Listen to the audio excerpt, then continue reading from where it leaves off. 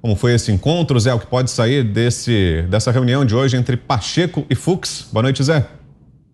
É, é uma de uma série de reuniões, né? O diálogo não pode faltar. Agora, é, é, negociar por trás, não, não, isso não é legal, né?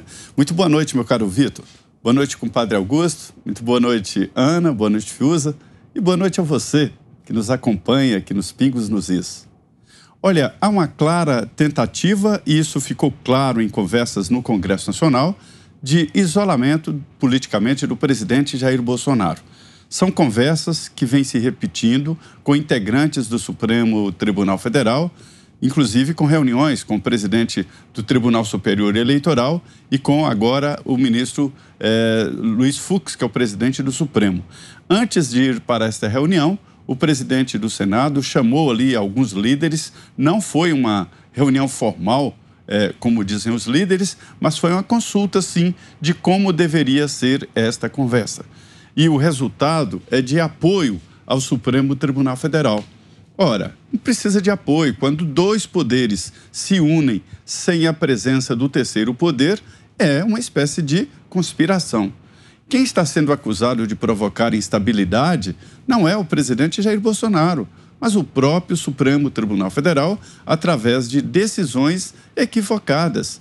São tão equivocadas que o presidente Jair Bolsonaro assinou o decreto concedendo a graça e não houve uma revolução pública, não houve críticas ao presidente, pelo contrário, até apoio, porque entenderam que se tratava de uma sentença ilegítima, uma sentença irregular. Se os brasileiros considerassem esta é, condenação do deputado Daniel Silveira como lógica, como constitucional, haveria uma revolta geral e críticas ao presidente Jair Bolsonaro. Então, estas conversas são, na verdade, uma tentativa de isolar o presidente Jair Bolsonaro. É apoio às decisões do Supremo, apoio ao processo eleitoral, inclusive com urnas eletrônicas, e umas conversas ali do que fazer daqui para frente. Uma reunião de poderes sem o terceiro poder é uma conspiração. Bom, e agora sim a gente acompanha a, as demais falas aí do presidente do Senado, Rodrigo Pacheco. Ele comentou a graça concedida ao deputado Daniel Silveira, como dissemos, e ressaltou que o Congresso pode não sustar o ato e manifestou o desejo dele de mudar a lei. O parlamento, e eu também manifestei desde o primeiro momento em relação a isso, pode não sustar o decreto presidencial, porque não cabe o projeto de decreto legislativo para esses casos específicos. Mas pode o Congresso Nacional refletir e aprimorar a legislação para que graça, indulto e anistia possam ter critérios para a sua outorga. Obviamente que isso não alcança fatos pretéritos, mas pode ser uma disciplina útil para o futuro, para se evitar que no seio da sociedade se gere um sentimento de impunidade, de que, por exemplo, o Poder Judiciário não tem a palavra final em matéria de justiça penal. Pacheco falou também das tensões nas relações entre os poderes. Nós não podemos permitir é que a disputa eleitoral, o acirramento eleitoral se reflita na boa relação que obrigatoriamente tem que ter o Poder Legislativo, o Poder Judiciário e também o Poder Executivo. E por fim falou do alinhamento entre STF e Congresso. Eu considero importante é, um alinhamento, uma busca é, de consensos, a privilegiar o diálogo é, em detrimento de, de intrigas que possam ser estabelecidas. Eu considero que os chefes de poder têm a obrigação de conversarem entre si para poder de fato conter é, a evolução ou a escalada de uma crise. Então, agora sim para você as declarações do presidente do Senado, Rodrigo Pacheco. Queremos ouvi-lo também, Guilherme Fiuza. Boa noite, Fiuza. Boa noite, Vitor Brown, Zé Maria Trindade, Ana Paula Henke, o mestre Augusto Nunes, bom revê-lo. Boa noite a todos. É, os poderes devem conversarem, não é isso que disse o senador Rodrigo Pacheco? Os poderes devem conversarem. Olha, é, desse jeito a gente percebe que não vai sair conversa boa. Né? Isso deve ser assim um, um ato falho para indicar que não há conversa alguma.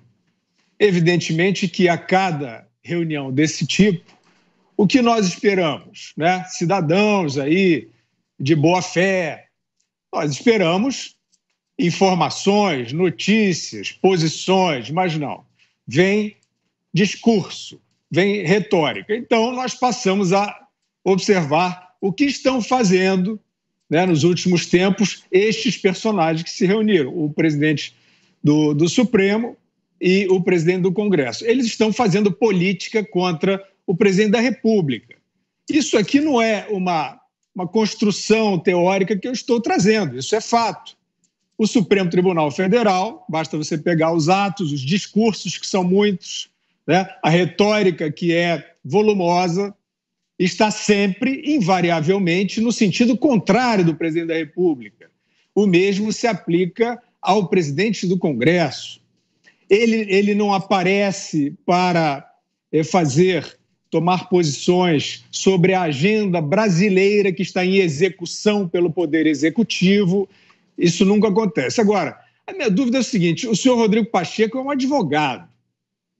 E, de repente, ele descobriu que essa lei não é boa. De repente, não mais que de repente, ele achou, né, não sei da onde, que essa lei da concessão da graça, que foi coincidentemente né, usada agora pelo presidente Bolsonaro, que essa lei não serve, que o Congresso tem que aprimorar. E ele diz: não, mas não terá efeito pretérito. Evidentemente, qual é? Vamos, vamos traduzir o óbvio. Né? Ele está querendo dizer, ele está querendo é, jogar nas costas do presidente da República é, um, um ato que ele está dizendo, por achar que tem que ser revista essa lei, que ele está dizendo que foi um, um ato é, é, defeituoso, que a lei tem que ser aprimorada para corrigir um ato defeituoso. Ou seja, está fazendo política. E eu volto a dizer, esse senador Rodrigo Pacheco, ele foi para a política querendo ser alguma coisa, mas ele não tem a percepção, ele não tem nem a malícia ele faz esses discursos vagos.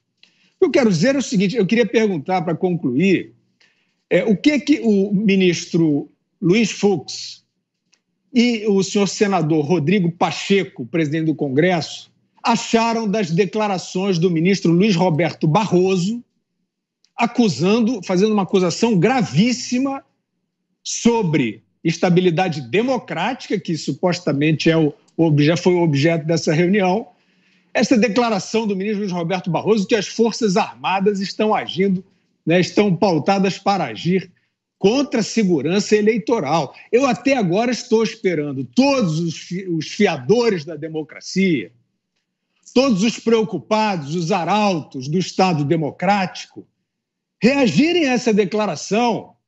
Ou, de fato, as Forças Armadas estão pautadas, isso tem que ser demonstrado, porque isso é gravíssimo.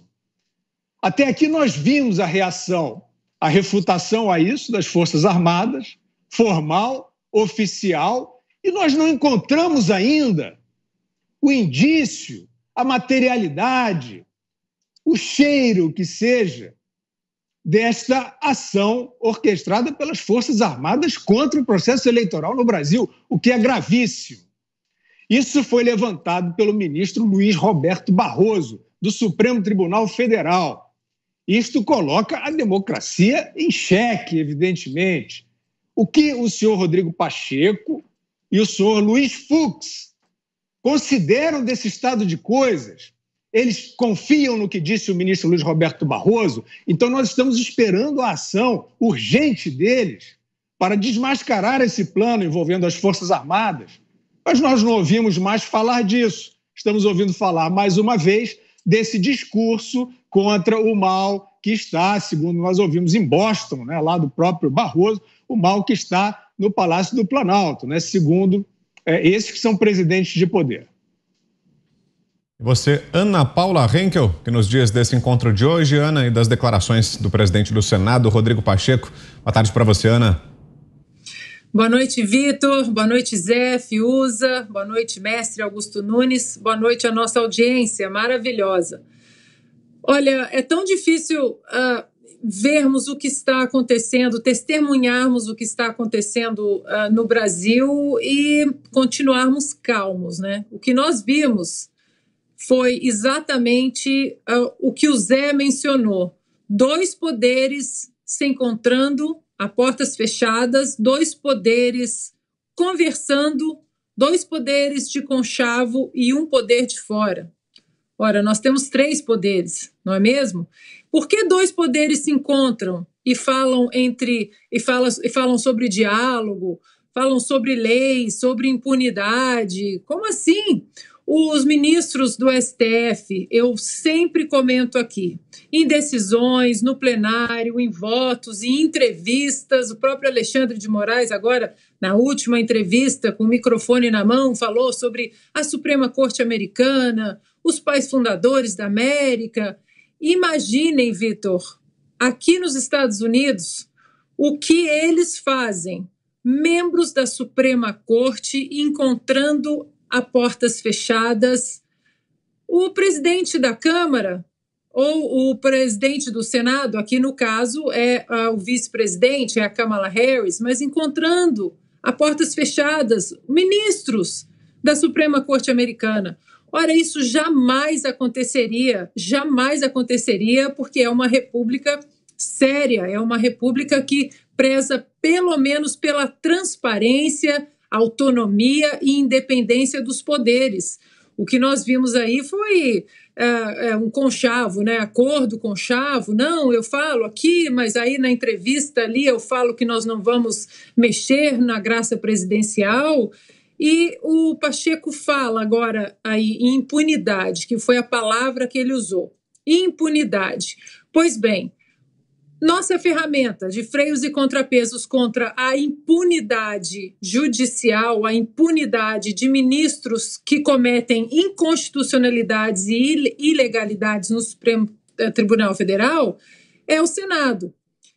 E o Pacheco, então, está diante de várias inconstitucionalidades cometidas por esses ministros que ele se encontrou hoje de portas fechadas e está cometendo exatamente a palavra que ele usou impunidade. Ele não está usando o que tem na nossa Constituição para que a nossa democracia, que eles falam tanto também, para que a nossa república continue estabelecida em pilares sólidos da lei, das leis. É, essa interferência né, e esse conchavo aí é inaceitável, Vitor. E nós precisamos continuar batendo na tecla que a liberdade de expressão, que eles também falam tanto aí, ela tem um limite, que é o limite da lei. E nossas leis não estão sendo respeitadas, principalmente por esses dois poderes aí. O Senado, que tem a prerrogativa de colocar freios e contrapesos em ministros inconstitucionais do Supremo Tribunal Federal. E o Supremo Tribunal Federal de julgar parlamentares que cometeram crimes, sim, mas o que nós vimos é o Senado de mão dada com o STF, um protegendo o outro. Bom, e ontem aqui na abertura do programa eu anunciei que Augusto Nunes estava de férias, que não teríamos acompanhado Augusto essa semana, mas foi tão intensa a reação popular, tantos os protestos, telefonemas, que olha quem está aqui. Augusto Nunes, boa noite, Augusto. Pois é, obrigado por me concederem férias aí mais cedo, mas só na quinta-feira eu vou me afastar por algum tempo, só três semanas. É um chorinho então, até só. quinta. Grande Vitor, boa noite, boa noite, meu irmão Guilherme, estava com saudade. Estava comprando algum prédio aí, outro Também, apartamento. É. Ana Paula, minha parceira querida, meu compadre Zé, boa noite a você que nos acompanha. Vamos botar os pingos nos is. Houve um encontro entre um advogado da Vale ele é sócio do escritório que defende a Vale no caso de Mariana, o presidente do Senado. Tá? Ele é sócio. E o presidente do Supremo, que daqui a pouco estará examinando esse processo. Então, foi uma. Você acha, você acha, Vitor, que eles não conversaram sobre isso? Que eles não, não fizeram um acerto, né? É, sabe, a política da boa vizinhança. Um julga o outro então, um deixa de julgar o outro. É isso que resulta de uma conversa como essa. O Zé disse tudo: dois poderes se reúnem sem que um esteja presente, é conspiração. Isso é conspiração. O Supremo já não esconde a, a, a pauta única deles. É, tudo que eles fazem é para impedir que o presidente Bolsonaro seja candidato à reeleição. Eu não me lembro se foi o Zé quem citou uma frase que era do Carlos Lacerda sobre o, Getúlio Vargas ou sobre o Juscelino. Agora eu não me lembro e o Zé certamente vai lembrar. Importante é a frase. Ele dizia: não pode ser candidato. Se for candidato, não pode ser eleito. Se for eleito, não pode tomar posse. Se tomar posse, não pode governar. É isso que o Supremo está tentando fazer. Tá? Esse presidente do Senado, Rodrigo Pacheco, disse que as manifestações foram antidemocráticas, as de 1 de maio. Democráticas, antidemocráticas por quê? O povo na rua se manifestando é o que há de mais belo na democracia. Ele queria que o outro lado fosse mais numeroso, é isso. Não houve nenhum quebra-quebra. Não houve insultos não ao Supremo. O que o povo mostrou foi o seu desconforto com o comportamento de ministros que não respeitam a Constituição. E eles são presididos pelo Luiz Fux. O que devia haver no Senado é uma ação, é um processo de impeachment contra quem prendeu ilegalmente um deputado. E ele está agindo, Rodrigo, covardemente. Covardemente. As manifestações vão continuar, eles não vão conseguir impedir que o presidente seja candidato à reeleição e eles é que vão sofrer sanções quando o Senado criar vergonha.